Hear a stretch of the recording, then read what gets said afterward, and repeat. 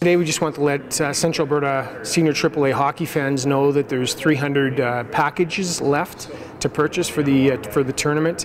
Our ticket sales have been going great. We have about 1,350 already pre-sold, so we're anticipating that it's going to be a sellout.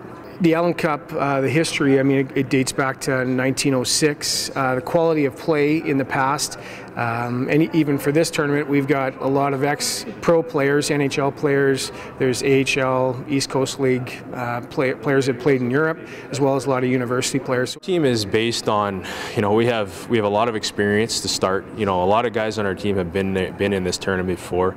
Uh, a lot of guys have a lot of pro experience from the NHL to Europe to the American Hockey League. So that's a real strength of our team um, and our depth. You know, we, we have a lot of guys that can step in and play any type of role. So um, that for sure. But in terms of what you want to, what you'll see out there is we got a, you know a lot of size, speed, and skill, and we like to utilize that to our advantage. We we possess the puck a lot, and it's hard for teams to uh, defend us when we're rolling four lines and coming at them in waves. Uh, with your ticket package, uh, you also have access to go to our lounge, which is next door. Uh, we are going to have sort of a, um, a Western theme motif over there, so it will look like a corral. We will have chuck wagon type bars. There's going to be staging, big screen TV.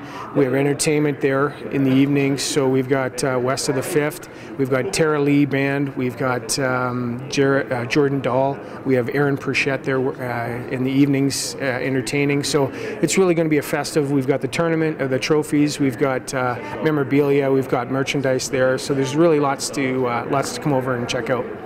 Well, we're ready. Yeah, you know, we still got a long ways to go. Obviously, we got the provincial finals to to worry about here, but you know, throughout the whole year, guys have been focused with the end result being the Allan Cup, and uh, you know, we've worked every day to kind of build towards that. So, in terms of where we're at right now, we're we're not there yet, but we're getting real close.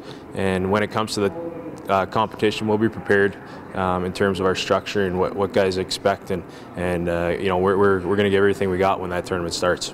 Uh, we have 300 ticket packages still left, and they can be purchased at um, Cremac Metals here in Red Deer, uh, or you can go to our webpage, which is www.allancup.ca.